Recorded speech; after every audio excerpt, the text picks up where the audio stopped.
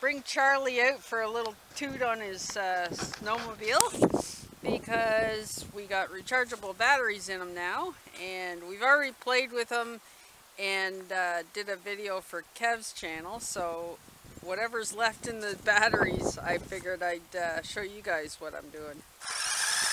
Oh, Besides getting stuck? Shut shop. the snow is melting guys. It's uh, going away. We got some really nice weather for the next while.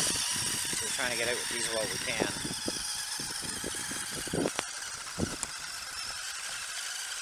We've already decided we're going to upgrade these things uh, before next winter. Maybe it'll be a summer project. Because they need upgrading. Oh my gosh. Once he gets going, he can really book it. yeah, rechargeables actually work really well on these sleds. Yeah, the store brand, not so much. Yeah.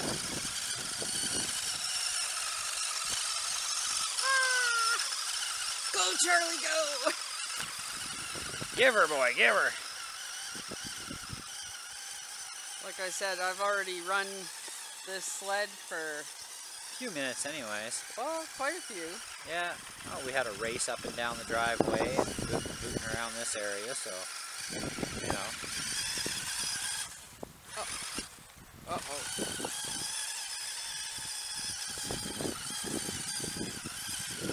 Yeah stock condition, they don't like any kind of bumps or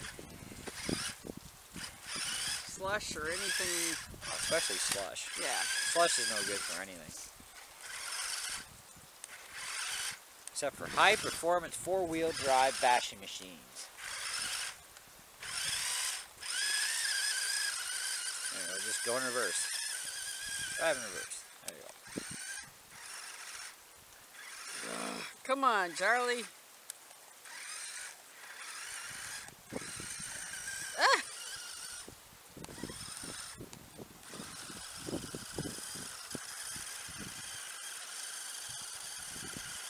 What amazes me is how much they spit out behind them. Quite a bit of uh... Yeah, and even with the lugs on them, they should have a little bit better traction, you know? But, oh well. Yeah. Oh. Is that the end of the batteries? Probably getting there. Oh, come on. Uh, yeah, I'm going to call that done. Yay! So fun though. Oh well, he got out for one run. Thanks for watching, and we'll see you on the next one. Bye.